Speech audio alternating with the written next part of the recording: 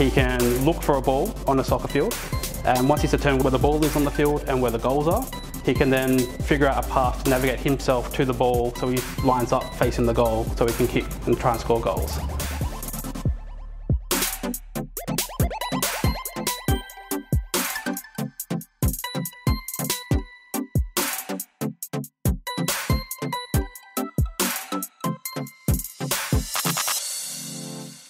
This soccer field that is like a lab environment for us to test out these algorithms. So it's about artificial intelligence and machine learning. And for us, the robots are probably like for the medical and health researchers, the rats in the lab.